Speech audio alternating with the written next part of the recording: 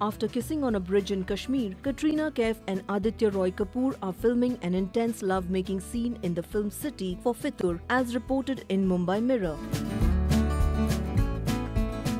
The report claims that the duo filmed a steamy love-making sequence at a studio in Film City and took over 12 hours getting their moves right. The sequence in question is straight out of Charles Dickens' Great Expectations, which has inspired this romantic drama. Katrina and Aditya, who are working together for the first time, rehearsed the scene for over 4 hours before they finally got it right. A source has been quoted in the report as saying that by the end of the day, they were frazzled. And this is certainly not the end of their schedule as there will be a lot more passionate kissing in the days to come.